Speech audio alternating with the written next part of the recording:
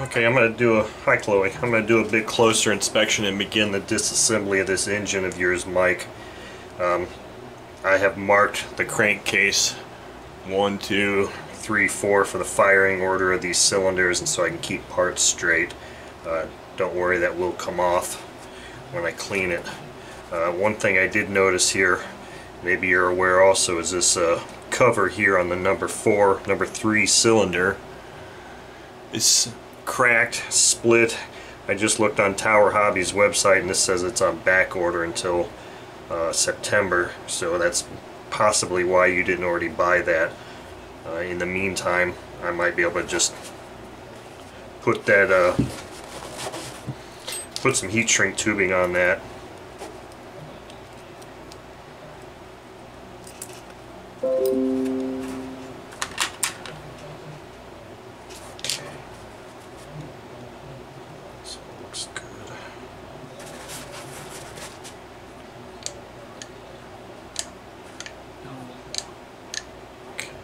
issues there.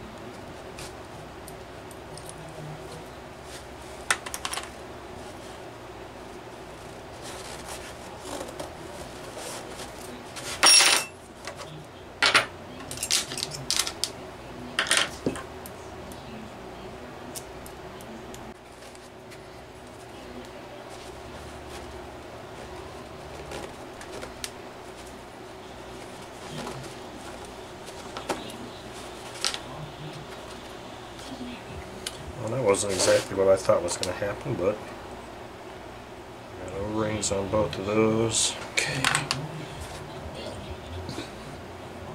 Look at that. This thing has like next to no runtime on it, it would appear. I guess I was kind of hoping that this was going to be up a little bit more.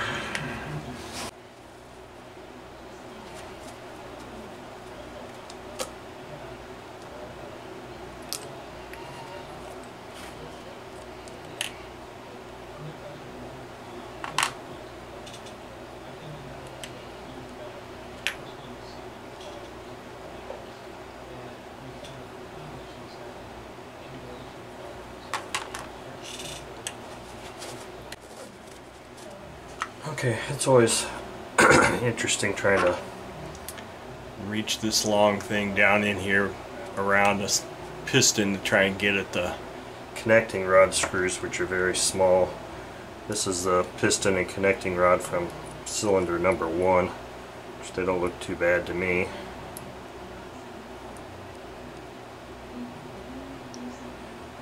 There's just a lot of gunk on this wrist on this piston pin and it's pretty much wedged on the connecting rod itself so this whole thing is going to have to soak uh, before I can actually pull that pin out. Because I believe that these pads are integrated into the pin. Either way if the pin doesn't slide through the hole in the top of the connecting rod it's not going to come out anyway so uh, the good news is I mean look at this. This engine looks like it's got incredibly low runtime the piston ring is completely free. The only thing that's really unfortunate, and this is just kind of the way things are with these big multi-cylinder engines, maybe that'll help, I don't know, is that the crankshaft looks really, really bad. I mean, it looks really bad. And I don't know if that's all just rust or a combination of rust. I mean, it just feels bad. So that's going to have to, obviously it's all going to come apart anyway, but it's going to have to get some serious, serious cleaning. But here's the, here's the screws for the other connecting rod here. So obviously it, it helps a lot if you can pull that pin out from the piston first. Uh, so that you've got the piston out of the way so you can get at these screws better but because of the condition of the stuff on that piston or wrist pin it just wasn't possible to uh, to actually get that piston off first so you have to finagle around and try and find the way to get in there and get these screws out.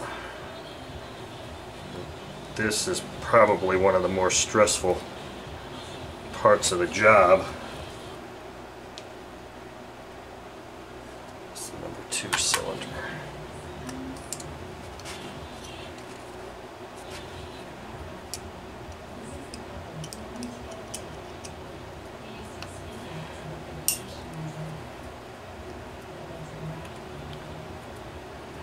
These screws these screws are the most stressful part of disassembling the engine fasteners from the engine anyway.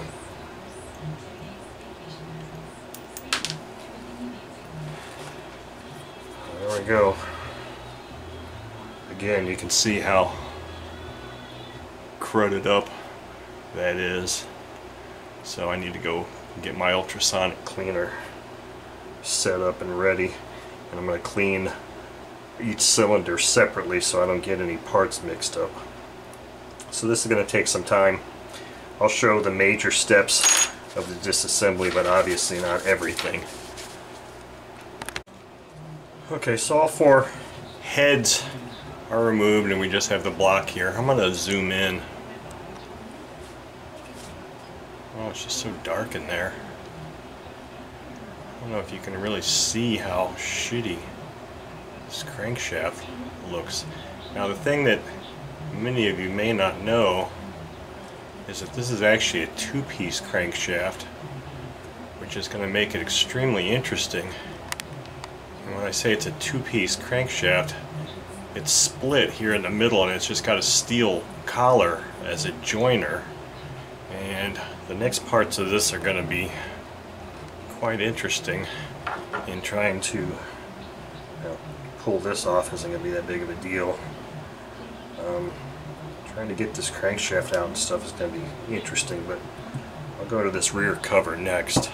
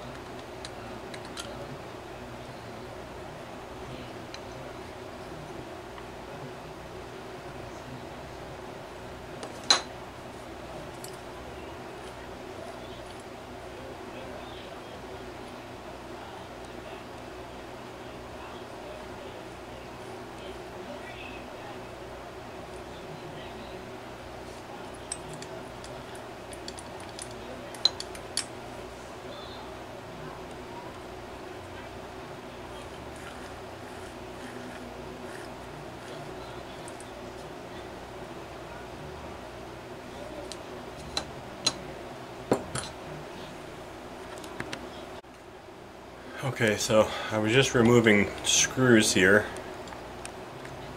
from this front housing and as soon as I removed this screw this corner piece came off so it had apparently been broken already and it came free when I removed the screw. So, I just want to let you know, Mike, all I was doing was pulling screws out. And that piece broke out. So I don't know what I'm supposed to do with that. I don't think that's, I think it's too small that I'm gonna, not gonna be able to JB weld that. I'm gonna keep that little piece. But I needed to document that for you.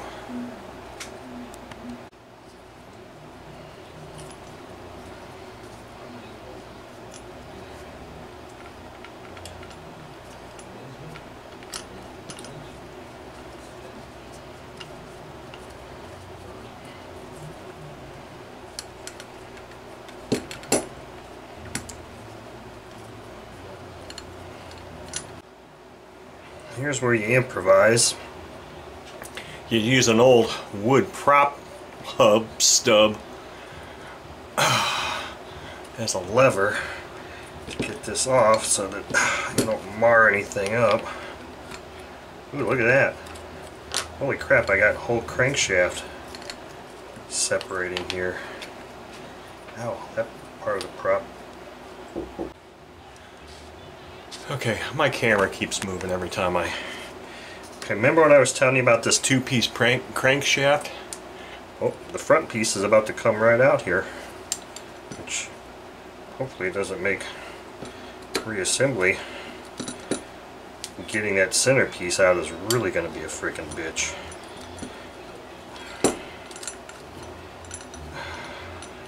Man, I kind of wish I had gloves or something. These edges are sharp.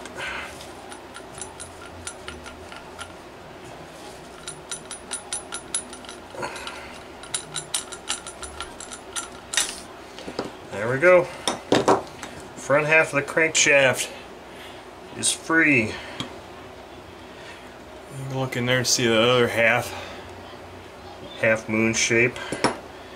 God damn, look at that thing. Just look at that. I don't know if that's just feels like freaking rust. But I just, man, son of a bitch, that's, that's rough. Literally and figuratively, in every sense of the word, that's rough. Still haven't been able to get these cam followers out. I really don't think I'm going to be able to until I get this camshaft out, which I might have to just see if I can tap tap down there and tap this thing out because it's not wanting to just pull out at all. I man, these things are rusted really really bad. I hope I'm going to be able to complete this. That internals is really really really bad.